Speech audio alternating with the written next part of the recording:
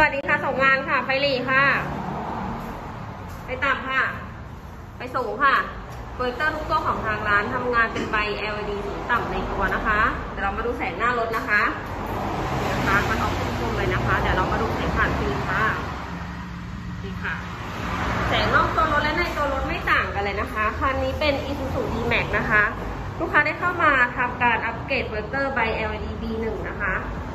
นี่ค่ะกำลังไฟ15วัตต์นะคะ และวงแหวน LED PM สไตล์ค่ะ นี่นะคะ ส นใจงานดีๆเนียนติดต่อทางเพจ Facebook VP Premium Auto c u m ได้ที่สาขานะคะ ติดตั้งชิ้นงานโดยทีมงานช่างหมีค่ะ ขอบคุณค่ะ